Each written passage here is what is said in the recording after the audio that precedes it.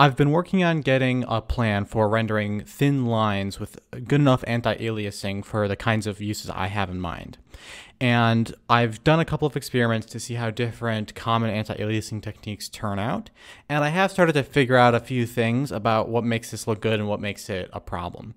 And one thing that's been coming up, that keeps coming up, is that when a line is standing still perfectly, it looks better if it's thin, but if it's moving even slightly, then a little bit of extra thickness, like instead uh, instead of using a thickness of 1.0, a thickness of 1.15 or 1.25 makes it look better.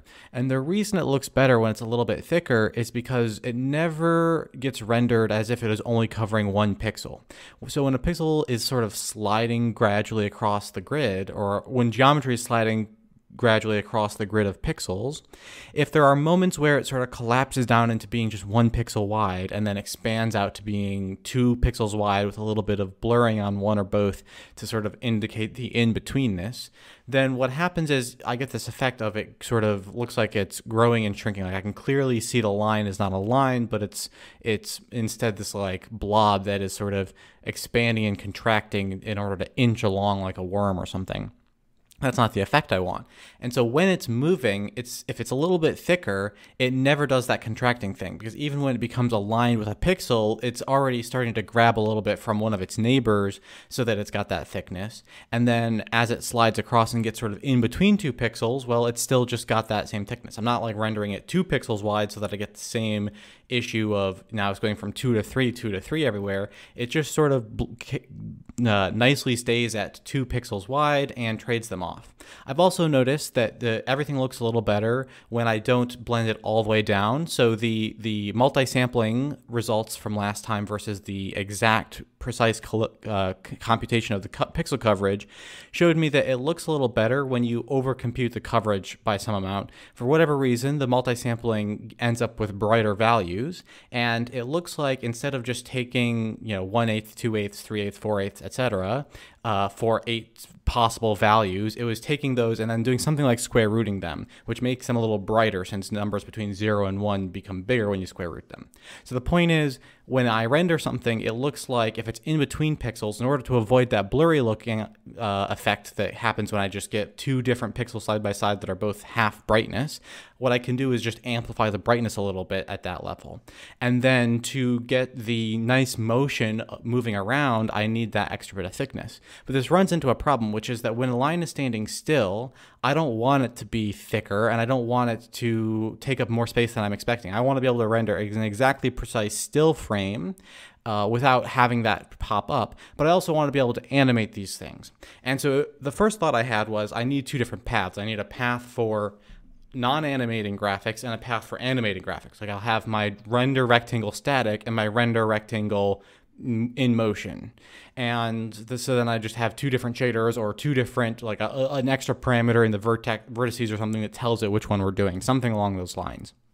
Or maybe it's even just a matter of fiddling with the geometry on the front end, but one way or another, the, the highest level API would be bifurcated in this way. Uh, but I went and picked some people's brains, and the best idea I heard, which came from Ryan Fleury, was to turn this idea into a continuous parameter instead of a discrete one. So instead of static or moving, the idea was to make a parameter in the call that is the current velocity vector of the thing that I am rendering. And that velocity vector was a really interesting idea to me. It's a little bit more to send it down, but it means that now I know how fast something is moving. So if I'm rendering a rectangle, for instance, and I put a velocity vector on it, what I mean is this rectangle has traveled over this distance since the last frame, which means there might be a big gap of pixels where technically the rectangle in concept moved through those pixels, but it never got rendered there because of the sort of temporal aliasing that happens between frames. So this velocity vector gives me a way to add in like a single frame motion blur. It's not like a motion blur effect so much as it's a motion blur anti-aliasing. Uh, and it's anti-aliasing over that time aliasing. Instead of getting a single precise slice of time, I kind of want to blur, blur together all the time between two frames is the idea here. And that might be overly specific. I might turn out that I want to not use the full range, but just sort of cap it off or have it taper off as it's getting bigger. I might also want to boost it when it's rather small because I know that if something's moving at, you know, a quarter of a pixel per second, well, that's going to be enough width to make the moving line work. But if it's moving at a hundredth of a pixel per second, that that choppiness of the of the anti-aliasing of the moving line might reappear.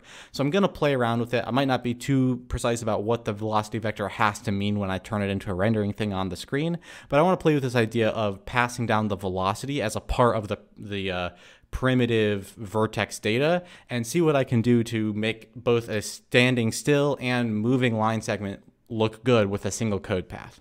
So let's experiment with this for a bit.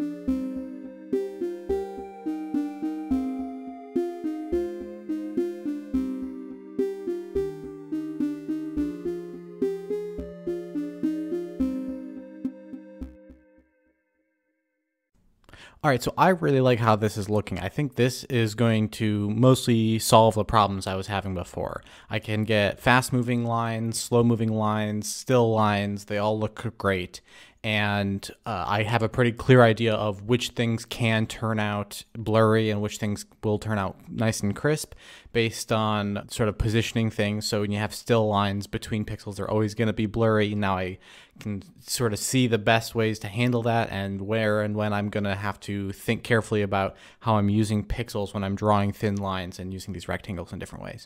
There's still a lot to figure out to call this finished. I want to get in there, obviously support for moving in along the y uh, y-axis. I'm sort of ignoring y coordinates right now so that I could test this effect out in the x-axis. So now we got to get it to work on x-axis, y-axis, and of course on velocities that are you know in both the x and y direction simultaneously. And then we need to work on uh, integrating the features from the Tool 2D stuff. Those features are rounded corners, outline thickness, gradients in the colors. And we might want to even sort of optimize a bit more and place see are things we want to do, like is it going to be geometry shaders or uh, are we going to pack colors in a different way? There are a couple things like that we might want to tinker with to really crank on the quality of this thing. And then try finally, we'll plug all this in. But I think we've found the solution we're going to try to make work. And unless it falls apart terribly along the way, uh, we can sort of switch over to producing the new and improved renderer for Tool 2D now. Anyways, thanks for checking out this video, and I'll see you next time.